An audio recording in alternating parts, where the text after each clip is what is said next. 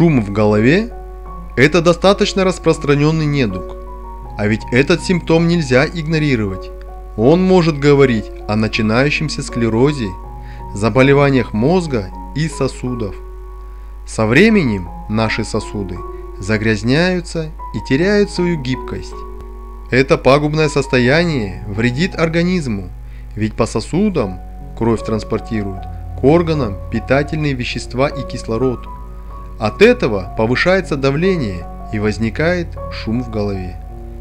У человека даже может ухудшиться зрение. Можно очистить сосуды и вернуть им гибкость без аптечных средств. Пастушья сумка – одна чайная ложка и вода – один стакан. Залейте растение кипятком и настаивайте 30 минут. Пейте по 1 четвертой стакана 3 раза в день за 30 минут до приема пищи. А четвертый раз перед сном. Хорошего вам самочувствия!